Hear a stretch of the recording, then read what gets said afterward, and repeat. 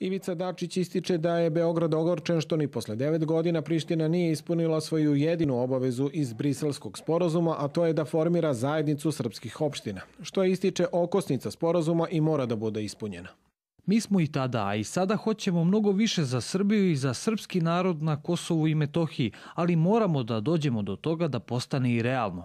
Da nismo tada imali briselski sporazum, ja sam siguran da bi Kosovo i Metohija odavno bilo zaokruženo kao međunarodno priznata država i veliko je pitanje da li bi tamo uopšte još bilo Srba. Osim Beograda i Prištine, paraf na briselski sporazum stavila je Evropska unija, koja prema rečima direktora Kancelarije za Kosovo i Metohiju, Petra Petkovića, takođe snosi odgovornost za to što zajednica srpskih opština do sada nije formirana. A to je, kako kaže, uslov za dalju normalizaciju odnosa Beograda i Prištine. To što nakon devet godina Priština i dalje odbija da formira zajednicu srpskih opština pokazuje s jedne strane da Priština e, ne želi da obezbedi kolektivna prava za srpski narod na Kosovu i Metohiji, ali s druge strane pokazuje da nekome i dalje odgovara